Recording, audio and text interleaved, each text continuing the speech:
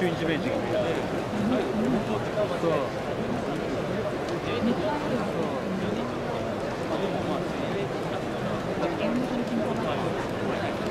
まもなく中日ドラゴンズ対千葉ロッテマリーンズのプロ野球オープン戦を開始いたします。この試合は東海テレビ杯として東海テレビ放送から勝利チームに賞金。さらに試合で活躍した選手に主勲賞関東賞ホームラン賞が贈られます試合に先立ちまして両チームに東海テレビから花束が贈呈されます。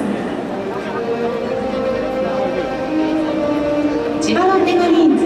松川幸選手中日ドラゴンズ郡司裕也選手